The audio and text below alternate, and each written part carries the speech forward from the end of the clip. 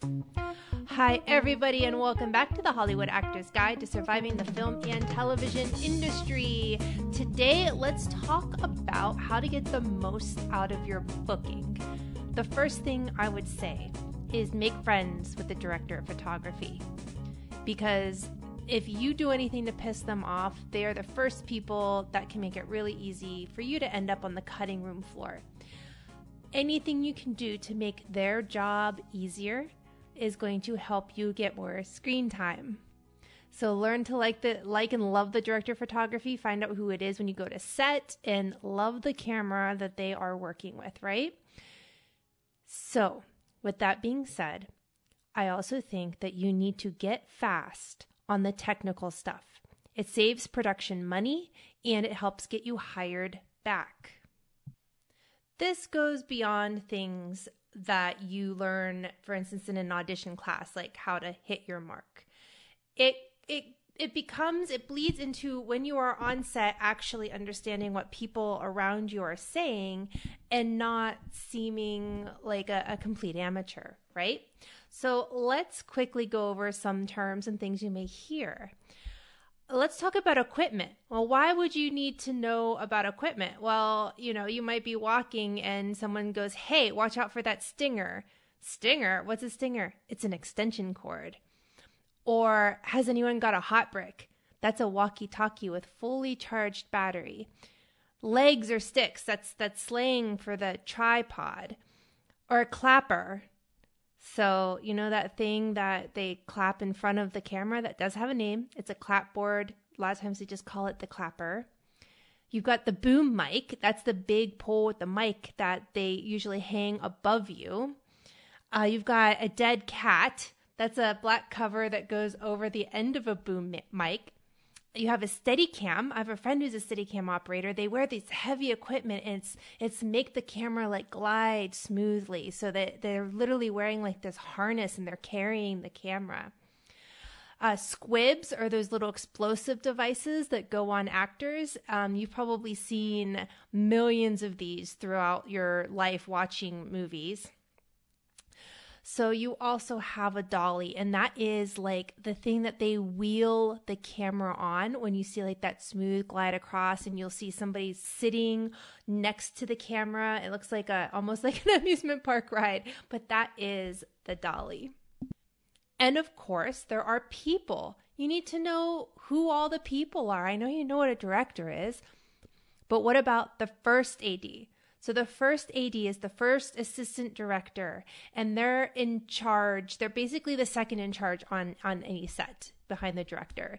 They're like the link between the producers and the directors and the cast and the crew and they're responsible for safety and they're responsible for things getting done on time and did i mention things getting done on time and they're under a lot of pressure so your second AD, they work directly with the first AD.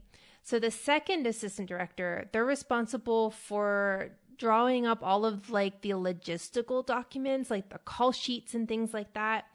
And they make sure that if production has one, that the third AD has the cast and crew in check. Some productions don't have 30 ADs, your bigger productions do.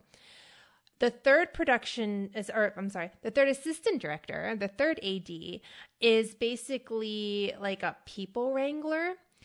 They make sure that all members of the cast and crew are in the right place and are right there. On smaller budget films, this could just be like a um, base camp PA. Uh, so you also have gaffers. They're the head electricians. They're responsible for setting up all of the lighting equipment. Um, you almost um, you sometimes you hear them being called a spark or a juicer, which I think is cute. You have a key grip. The key grips are the head technician, or the grips also. They're responsible for setting up all of the non electrical lighting equipment, like the flags and cookies and modifiers a friend of mine really explained this really well to me when I first starting out. They're like the gaffers bring the lights in and the grips kind of take the light away. uh, your best boy, they are an assistant to either the gaffer or the key grip, and you'll hear them by like best boy electric or best girl grip kind of thing. And it comes from like old timey studios when they're like, bring me your best boy to come help with this. And that became a job title. You'll also hear people mention a second unit. You may even be shooting on the second unit yourself as an actor. It's a completely separate crew. They they film a lot of things that don't necessarily involve face to face interaction, though sometimes it can. But they'll do inserts. Um, sometimes they'll do the action sequences, and they usually work alongside the main unit at the same time. So the director will be on the main unit, but they may not be there with you on the second unit. So let's go over some vocabulary.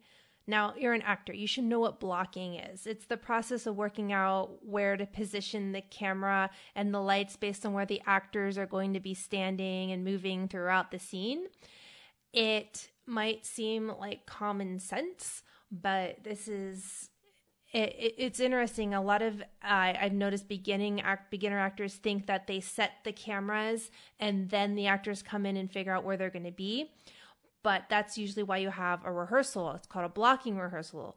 You go in as an actor and you show them what you have in mind, and then they take that and they work around where they want the cameras and things. It doesn't mean the director's like, no, no, no, I don't. I, I think actually you would be here because of this. It's you know you're you don't have all the power but you do have a lot of it. So know that when you're going in with a blocking rehearsal, they want you to bring something. They don't want you to just wait for them to tell you what to do.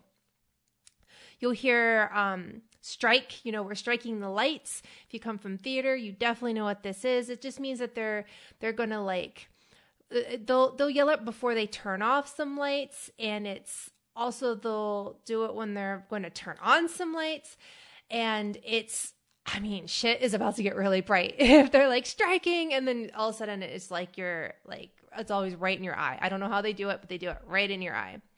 You'll hear people say 10 1. This is what you say if you need to use the restroom. So it's just the polite way of saying where you're you're gone. So people aren't on the on the walkies going, "Hey, Jennifer's gone to the restroom or the bathroom." it's just like, "No, she's gone 10-1." And that just I think it just sounds more you know, polite. It's kind of nice that they have that. Check the gate. If the director shouts this out, it's a happy moment.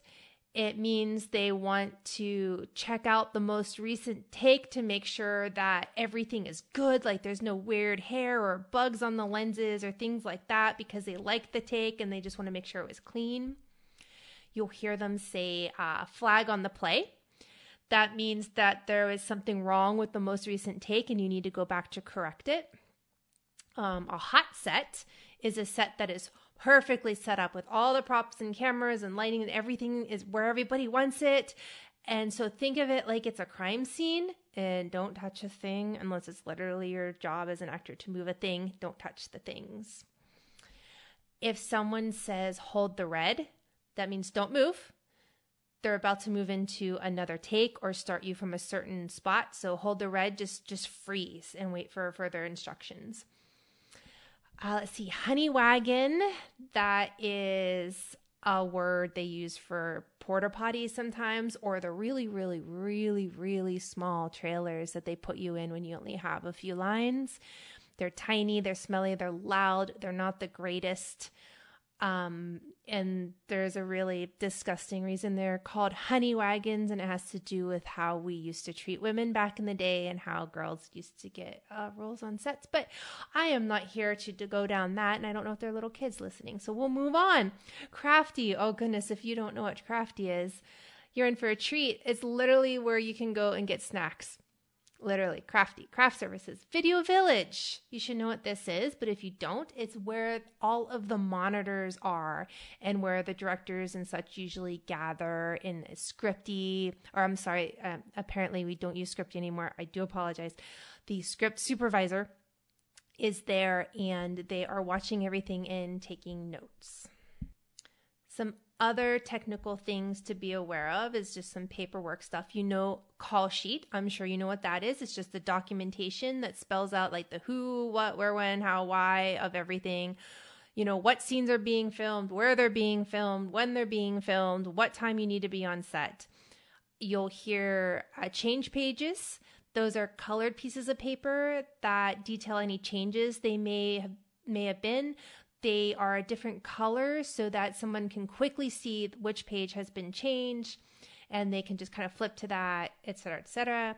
And then you have the continuity script that is used by the script supervisor to record all the itty bitty teeny tiny little details of every time a scene is shot from the from the the length of the actor's hair sometimes you know to the weather to how set has changed you know all that other fun stuff so let's talk about the shots knowing what the shots are are so important for you if they say we are going into an extreme wide shot this is usually also known as like an establishing shot. It's really large. It shows like if you're in the forest, it'll show you like the huge forest and it gives your audience an idea of where you are, where you are in the world. Now you have your master shot. This is also known as a wide shot. They capture all of the relevant actors and the action taking place within a scene. Um, they're they're kind of like extreme wide shots. Obviously, they're not extreme, so they're smaller. Um, but they're used to provide context before jumping into a closer range shot.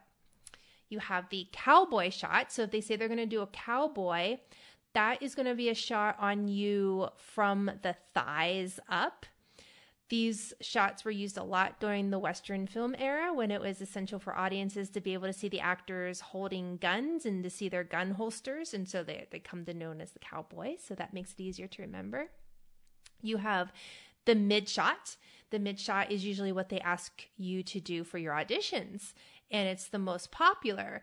They're they're like they're from the waist up, you know. So you see like I mean, even interviewers on the news, they use waist up. Uh, a lot of like most of the things you see in TV and film, go watch something after this and watch. It's a lot of mid shots, a lot.